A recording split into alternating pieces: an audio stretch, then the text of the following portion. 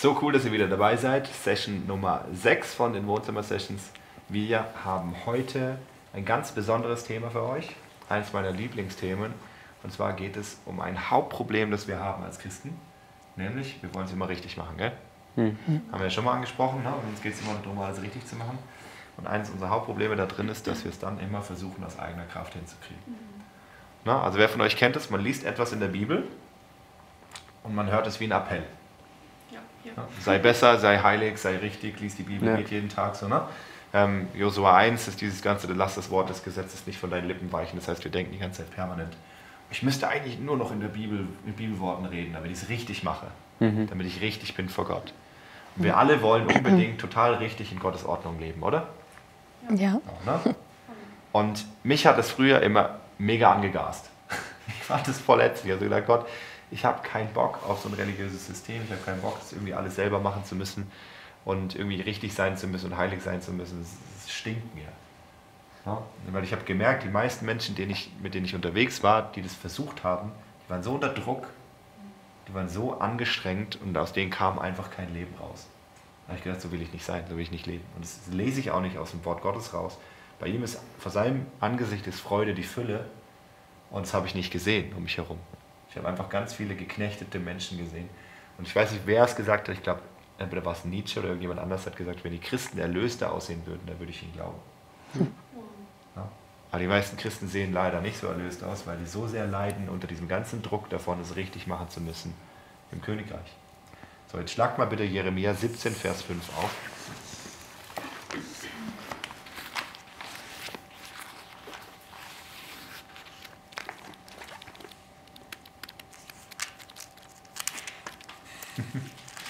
Jeremia ist irgendwo vorne relativ, aber dann auch wieder relativ Richtung Mitte in der Bibel. Was, Jeremia? 17, Vers 5. Hast du es, Luke? Nee. Lies mal vor. So spricht der Herr, verflucht ist der Mann, der auf, Mensch, auf, auf Menschen vertraut und Fleisch zu seinem Arm macht und mhm. dessen Herz vom Herrn weicht. Ja, verflucht ist der Mensch, der auf Menschen vertraut und Fleisch zu seinem Arm macht. Was heißt das? Verflucht ist der Mensch, der auf Menschen vertraut. Der halt sich auf sich selber verlässt. Der sich auf sich selber verlässt. Der sich auf Menschen verlässt, der sich auf seine eigene Kraft verlässt. Der versucht, es selber hervorzubringen, es selber zu machen. Und dessen Herz vom Herrn weicht. Was heißt das? Der nicht nach Gottes Bestimmung lebt. Ja, der nicht auf Gott vertraut. No? Und dann lies mal, Gloria, lies mal weiter, was passiert mit dem? Er wird sein wie ein kahler Strauch in der Steppe und nicht sehen, dass Gutes kommt. Ja, krass, oder? Ja. Er wird sein wie ein kahler Strauch in der Steppe und nicht sehen, dass Gutes kommt. Wie oft hast du dich in deinem Leben schon so gefühlt? Wie ein kahler Strauch in der Steppe und du hast nicht gesehen, dass etwas Gutes kommt. Hm. Wahrscheinlich sehr oft. Und ich kann dir zu 100% sagen, in diesen Momenten hast du dich nur auf dich verlassen und nicht auf Gott. Du hast nur mit deinen eigenen Ressourcen gerechnet und nicht mit Gott. So, und das ist das, was die meisten Menschen versuchen. Sie versuchen, den Glauben aus eigener Kraft zu leben. Und dann landen sie an diesem Ort, merken, es kommt nichts Gutes. Und sie sind wie ein kahler Stauch an der Strippe. Und es geht ihnen nur mies. Und dann kommt Depression und dann kommen Ängste und dann kommen Sorgen und du musst dich selber kümmern und dann schaffst du es nicht und dann kommen wieder Sorgen, dann kommt Depression, dann kommen Ängste und du hängst drin in diesem Kreislauf und das ist super ätzend. So, ne? Und jetzt schauen wir mal, was Gott dazu sagt, wie es geht, in seinen Ordnungen zu leben. Okay? Weil wir kennen es ja, es gibt ja die Ordnung Gottes. Wir kennen es, 5. Mose 28, das ist ein ganzes Kapitel. Wenn du in meinen Ordnungen lebst, dann bekommst du Segen, Segen, Segen, Segen, Segen, Segen, Segen. Keine Krankheit mehr, alles vermehrt sich auf deinem Feld, deine, deine Tiere vermehren sich, du bist fruchtbar, ne, dein Besitz vermehrt sich, dir geht's gut, dein, dein Eingang ist gesegnet und dein Ausgang und so weiter und so fort. Ne, und dann kommt danach, wenn du nicht in seinen Ordnungen lebst, eine Riesenlatte an Sachen, die dann passieren, an Konsequenzen. Ne? Und es ist nichts anderes, wie wenn du deinem Kind sagst, hey, schau mal hier, auf dem Spielplatz kannst du spielen, da ist safe, auf der Baustelle kannst du nicht spielen, da ist nicht safe. Das Kind rennt die ganze Zeit auf die Baustelle ne, und tut sich immer weh und sagt, äh, Papa, warum tue ich mir immer weh, voll doof. So, ne? Und das ist einfach nur die Ordnung Gottes. Gott setzt dir einen Rahmen, in dem er sagt, wenn du da bist, geht es dir gut. Ne? Und er sagt, wenn du da nicht drin bist, dann geht es dir nicht gut. Und nicht, weil er so böse ist, sondern weil er einfach sagt, hey, ich weiß, was gut für dich ist. So? Und Gott ist aber so entspannt und so gnädig mit uns, dass er nicht sagt, so und jetzt musst du gucken, dass du ja in diesen Ordnungen bleibst, weil sonst bist du ein schlechtes Kind, sondern er baut uns eigentlich einen ganz sicheren Zaun außenrum. Wenn, und in dem es super einfach ist zu bleiben. Mhm. Ich gehe mit euch jetzt ins Wort und wir schauen, woraus dieser Zaun besteht. Okay? So, Ich nenne das meine Burg. Das ist meine vielfache Burg, weil ich gebe euch jetzt vier Bibelstellen. Das sind wie für mich wie vier Türme. Und wenn ich mich in diesen vier Türmen bewege, innerhalb dieser vier Türme, dann bin ich super safe. Ja, dann kann mich nichts erschüttern.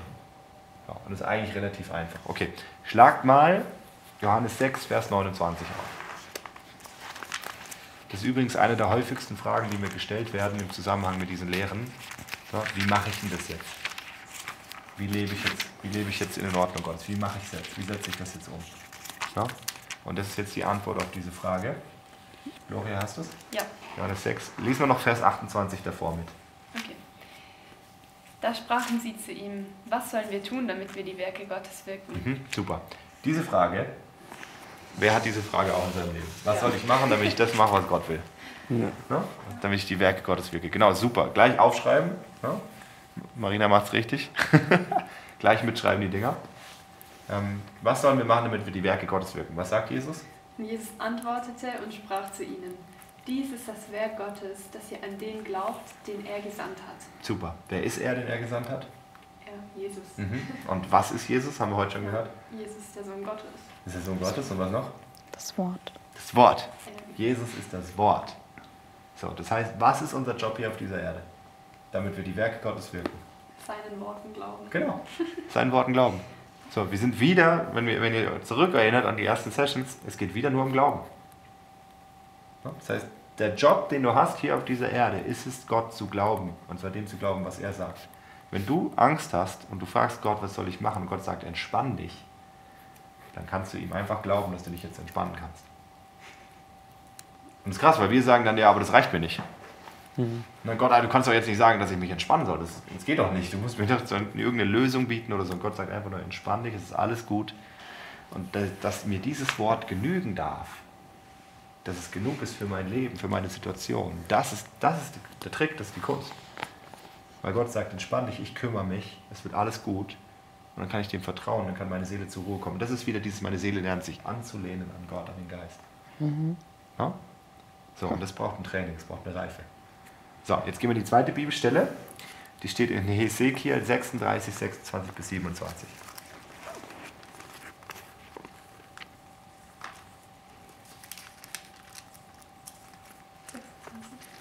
Ja, Hesekiel 36, 26 bis 27.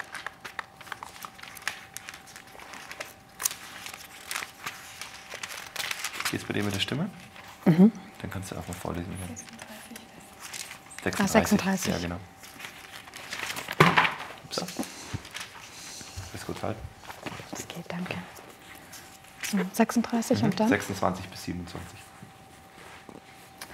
Und ich werde euch ein neues Herz geben und euch einen neuen Geist schenken. Ich werde das Herz aus Stein aus eurem Körper nehmen und euch ein Herz aus Fleisch geben. Und ich werde, So, stopp mal. Das ist passiert in dem Moment, wo du wiedergeboren wurdest. Okay? Du hast einen neuen Geist bekommen. Ne? Er hat seinen Geist in dein Inneres gelegt. Das heißt, die Voraussetzung für das, was jetzt kommt, ist erfüllt. Jetzt lies weiter. und ich werde euch meinen Geist geben, damit ihr nach meinem Gesetz lebt und meine Gebote bewahrt und euch danach richtet. Genau. Okay. Liest du nochmal den letzten Satz vor? Und ich werde meinen Geist in euer Inneres geben und ich werde machen, dass ihr meine, in meinen Ordnungen lebt und meine Rechtsbestimmungen bewahrt und tut. Okay. Gott hat uns seinen Geist gegeben. Der ist in uns drin, oder? Ja. Ne? So. Und jetzt ist die Frage, wer macht es, dass du in Gottes Ordnungen lebst? Ja, Er. Was machst du? Glauben. Glauben. Laut diesem Vers nichts. Er macht es, dass du in seinen Ordnungen lebst. Krass, oder? Das das, was, hast, was hast du? Was machst du da drin? Nichts. Nichts. Du hältst dich ihm hin und sagst, Gott, hier bin ich. Du hast gesagt, ich, lebe ich soll in deinen Ordnungen leben. Du hast mir einen Geist gegeben, der bringt es in mir hervor. Ich glaube dir einfach. Okay? Dieser Vers hat mich revolutioniert. Weil ich gemerkt habe, all diese Sachen in der Bibel, diese Anforderungen, die da sind, wo Gott sagt, so geht's und so funktioniert's und so soll man leben. Ich habe gemerkt, ich kann das alles gar nicht aus mir machen. Und Gott sagt, musst du auch gar nicht. Hm. Ich bring's in dir hervor. Vertraust du mir? Ich sage, ja, ich vertraue dir. Glaubst du mir? Ja, ich glaube dir. Ich schaff's mit dir. Gottes Versprechen an dich ist, er schafft es mit dir. Dass du in seiner Ordnung leben kannst und dass du Segen bekommst. Und das ist genial. So, ne, jetzt geht mal nur in Philippa 2, Vers 13.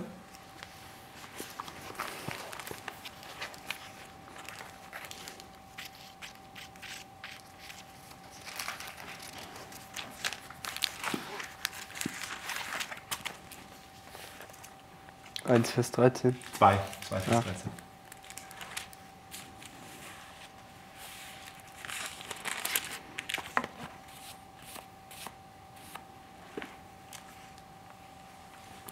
Äh, Ja. denn, denn Gott ist es, äh, alles was gerecht, alles was rein, alles was liebenswert, alles was. Nee, äh, ich glaube, das ist übersprungen. Mal. Ah, das ist Philippe 4. Ja. Ah, oh. Ja, genau. Alles gut. Denn Gott ist es, der, der in euch wirkt, sowohl das Wollen als auch das Wirken zu seinem Wohlgefallen. Ja, krass. Denn Gott ist es, der in uns wirkt, sowohl das Wollen als auch das Vollbringen ja, zu seinem Wohlgefallen.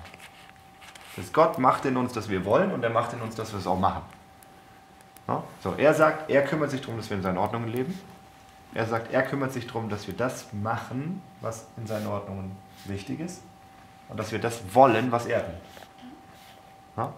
So, was machen wir? Nicht. Nichts, wir glauben ihm. Wir glauben ihm, dass er das mit uns schafft. Ja? So, jetzt kommst du vielleicht in eine Situation, wo Gott sagt, hey, ähm, Josua 1, Vers 7, 8, 9, ich weiß gar nicht genau wo. Ähm, lass dieses Wort des Gesetzes nicht von deinen Lippen weichen. Ja? Oder hier Psalm 1, ne? ähm, wenn du meinem, ähm, die, die mein Wort leben, die sind wie ein Baum gepflanzt an Wasserbächen und so weiter. Du merkst irgendwie, oh, ich weiß nicht, ich mag Bibellesen eigentlich gar nicht so gerne. Es geht vielen Leuten so, vielen Christen sogar, dass sie sagen, oh, Bibellesen fällt mir echt schwer, es ist ein Kampf drin. Ne, Und sagst, okay, Gott, in deinen Ordnungen heißt es, dass wir eigentlich in deinem Wort zu Hause sein sollen. Das ist mega wichtig für meine geistliche Reife. Aber ich merke, ich habe gar keine Liebe dazu, ich, ich, ich habe keine Freude dran, was soll ich denn machen? Ne? Und ich hatte zum Beispiel dieses, ich hatte die Situation, dass ich gemerkt habe, okay, Gott will von mir, dass ich tiefer in sein Wort gehe. Ich hatte gar keine Lust drauf. Da habe ich gesagt, okay Gott, du hast versprochen, du machst, dass ich in deinen Ordnungen lebe. Du hast gesagt, du bringst das Wollen und das Vollbringen in mir hervor. Ich glaube dir das. Mach's bitte. Und da habe ich mich ihm hingehalten und habe gesagt, mach mich bitte zu einem Menschen, der dein Wort liebt. Hm. Und Gott hat es gemacht. Er hat einfach in mir eine Veränderung geschaffen. Ich habe ihm geglaubt, dass er es mit mir schafft. Er hat diese Veränderung in mir hervorgebracht und ich bin zu einem Menschen geworden, der sein Wort liebt.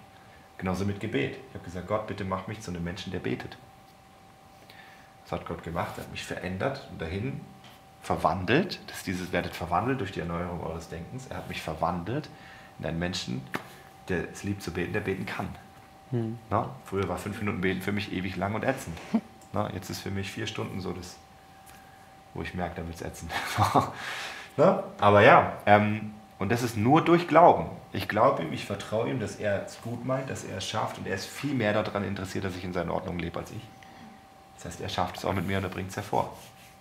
So, was mache ich jetzt, wenn ich keinen Glauben habe? Ja, Hebräer 12, Vers 2.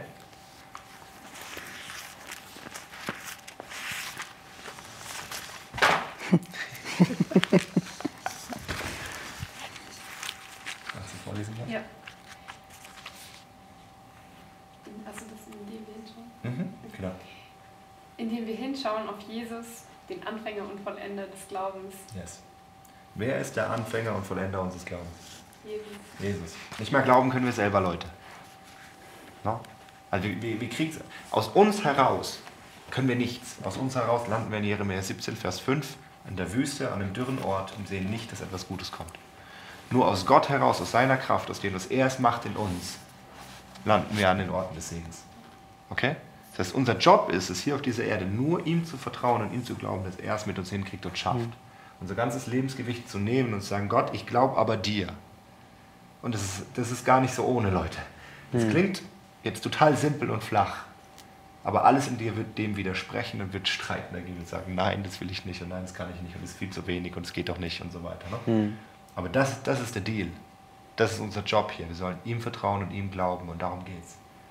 Ne? Und wenn wir keinen Glauben haben, was machen wir? Wir schauen hin auf Jesus, den Anfänger und Vollender unseres Glaubens. Jesus fängt unseren Glauben an und er bringt ihn auch zu Ende. Ne? Und wer ist Jesus? Das Wort. Das heißt, wir gehen wieder und wir schauen ins Wort, was sagt das Wort und was sagt das Wort in Hesekiel 36, 26 bis 27? Dass er es hervorbringt, dass wir in seinen Ordnungen leben. Was sagt dann Philippa 2, Vers 13? Dass er das Wollen und das Vollbringen in uns bewirkt. Und dann bist du plötzlich in einem Kreislauf, wo du merkst, es hält dich die ganze Zeit in Gott. Boah, ich will gerade nicht, was mache ich? Ja, Gott bringt es hervor, dass ich will. Ja. Ich habe keinen Glauben, was mache ich? Ich schaue ins Wort, Gott bringt den Glauben in mir hervor. No? Ich merke, ich kann so nicht leben, Gott, was mache ich? Ich sage, Gott, verändere mich, dass ich so leben kann. Und alles läuft nur darauf hinaus, dass er es tut und dass er die Ehre bekommt, dass er mich verändert und dass ich, dass ich nichts darauf, mir nichts darauf einbilden kann. Gar nichts. Und dann kriegt er alle Ehre und er schafft es mit mir und mein Glaube wächst. Und wenn mein Glaube wächst, dann wächst meine Beziehung zu ihm und es, und es kommt voran. Und ich lande nicht in der Wüste an einem dürren Ort, wo es ätzend ist, sondern ich lande bei Gott selber, weil die Beziehung wächst. Und es wird schön und herrlich und ich werde entspannt, weil ich lerne mich anzulehnen an ihn. Und jetzt wir wieder beim Bild mit den drei Kreisen, weil mein Geist wird stärker und meine Seele lernt sich anzulehnen an den Geist. Na, und ich muss es nicht mehr selber machen und schaffen und gut sein. Und ich muss nicht mehr abspüren, bin ich richtig. Sondern der Heilige Geist ist es, der von Sünde überführt. Und er darf mir sagen, ob ich richtig bin oder nicht. Ich bin einfach da. Und ich lebe. Und ich habe Frieden. Und dann kann Gott kommen und sagen, schau mal hier, Marina, komm, da tun wir mal justieren. Und dann sagst du, ja, okay, Gott, ich lehne mich an, bitte hilf mir dabei. Bring es in mir hervor, ich kann es nicht selber. Na, schau mal, Marina, hier, da darfst du mir mehr glauben. Du merkst, kann ich nicht. Hilf mir bitte Gott. Mach, dass ich glaube. Und dann wartest du zwei Monate und dann schaust du zurück. Und merkst du, krass, plötzlich kann ich glauben. Hm. Na, weil geistliches Wachstum misst man in Jahren. Schau mal drei Jahre zurück und guck, wie reif warst du da. Und dann merkst du, krass, ich bin gewachsen. Hm. Na? Und wenn du jetzt merkst, boah, ich bin da unreif, dann sag, okay, dann glaube ich jetzt einfach mal für drei weitere Jahre und dann schaue ich zurück, wie, wie reif bin ich geworden. Aber wir wollen immer gleich in drei Wochen ein Ergebnis sehen. Na? So. Gott ist so entspannt, er hat Zeit mit uns. Aber er kommt zum Ziel. Und wenn wir ihm glauben, und das ist, Leute, das ist Basic Christsein. Das ist Basic Christsein. Und super einfach, ist machbar. Das ist so einfach, das kann jeder, das kann jedes Kind. Und deswegen ist es so simpel, dass es uns zu leicht ist. Und dass wir es verwerfen, weil es eine Torheit ist. Aber es ist so easy. Ja. Er schafft es mit uns. Dafür ist er gestorben. Dass du es nicht mehr selber machen musst. Gott hat sich angeschaut, wie die Menschen leben, hat sich gedacht, das ist ätzend, das ist schrecklich, wie die leben. Ich schaffe eine ganz einfache Lösung. Ich schicke meinen Sohn, der stirbt für sie und dann mache ich alles. Hm.